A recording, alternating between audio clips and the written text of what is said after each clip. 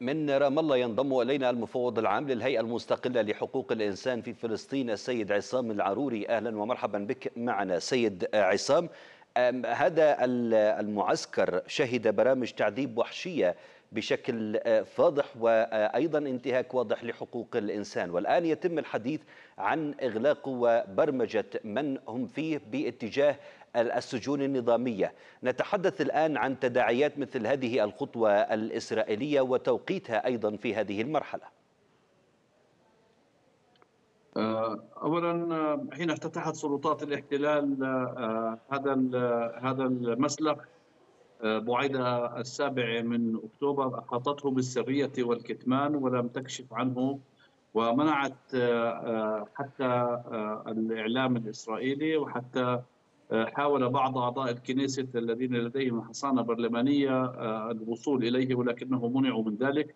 فضلا عن استمرار منع اللجنة الدولية للصليب الأحمر من معاينة هذا السجن الذي ينطبق الذي حاولت سلطات الاحتلال من خلاله أن تنسخ تجربة الإدارة الأمريكية في غوانتنامو بأن أعلنت عن كافة من تاسرهم من قطاع غزة صنفتهم بمقاتل غير شرعي.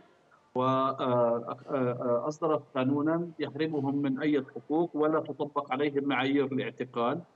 وهذا يشكل خرقا للقانون حتى القوانين الإسرائيلية لأن الإدارة الأمريكية حين فعلت ذلك في غوانتنامو فعلته على أرض غير أمريكية.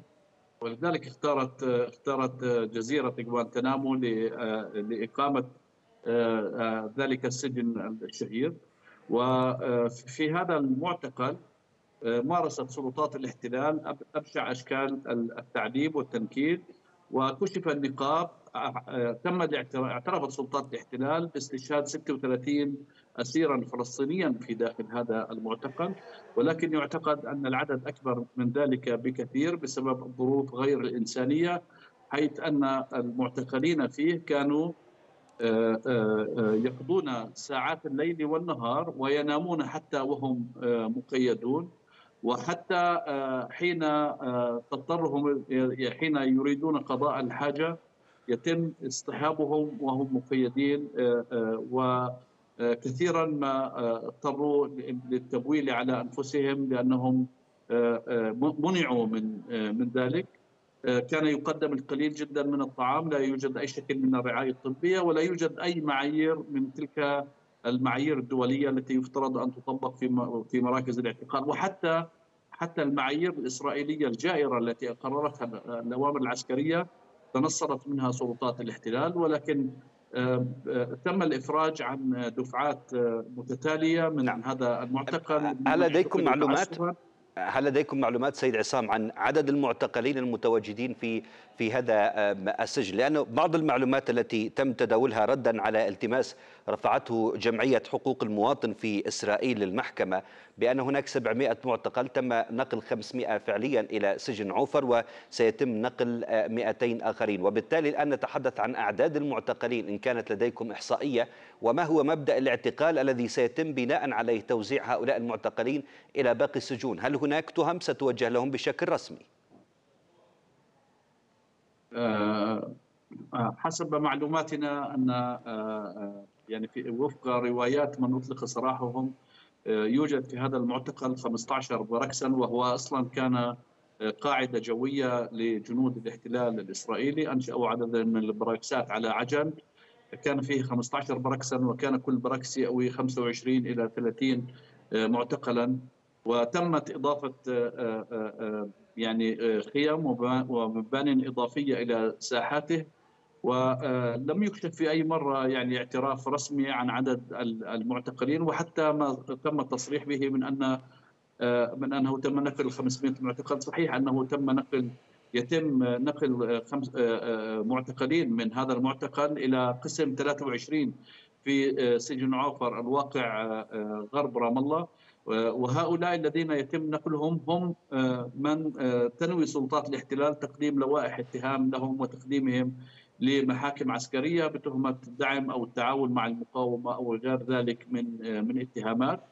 ولكن طريقة انتزاع الاعترافات من هؤلاء وطريقة البحث عن عن إدانات لهم تشكك في صحة الرواية الإسرائيلية.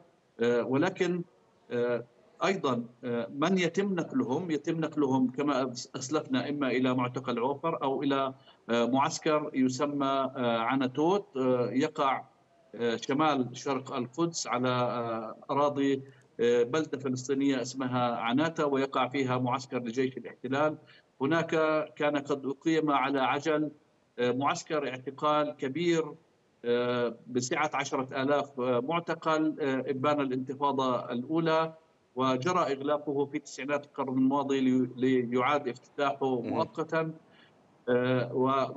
وفي هذين المعتقلين حتى في حتى في معتقل عوفر الذي معظم نزلائه من معتقلي الضفة الغربية الذين يتم التنكيل بهم ولكن معتقلي غزة يتم حشرهم في قسم خاص ممنوعون من أي احتكاك أو لقاء بمعتقلين من الضفة الغربية.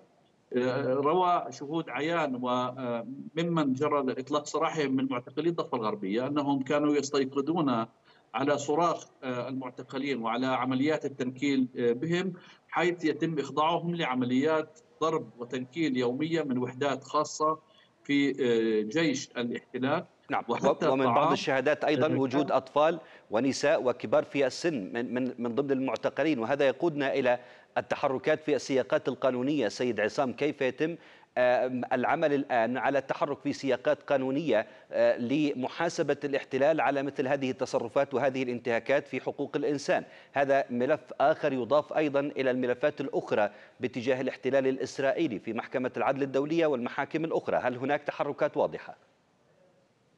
نعم جرى جمع عدد كبير من الإفادات من من معتقلين سواء من كانوا في سيدي سيدي تيمان وهو يقع في منطقة غلاف غزة في على تخوم صحراء النقب في منطقة شبه صحراوية وجرى جمع إفادات ممن أطلق سراحهم وخاصة من أطلق سراحهم في قطاع غزة وجرى تقديم بلاغ لمحكمة جرائم الحرب لأن هناك مخالفات عديدة أولها أن أنه يمنع على سلطات الاحتلال أن تقتاد المعتقلين من منطقة محتلة إلى منطقة خارجها وحول العزل وجريمة التعذيب التي تركت آثار على بعضهم بعضهم خرجوا بأطراف مبتورة وبعضهم خرجوا بحالة صحية ونفسية سيئة وهناك تقارير طبية تم تقديمها.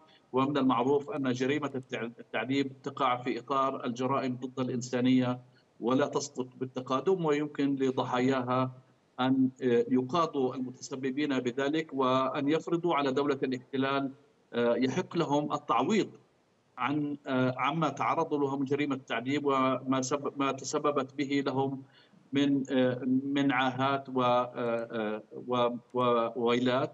نعم. ولذلك فإن سلطات الاحتلال تحاول في خطوة استباقية أن تهرب من من هذه الاستحقاقات التي تسببت بها.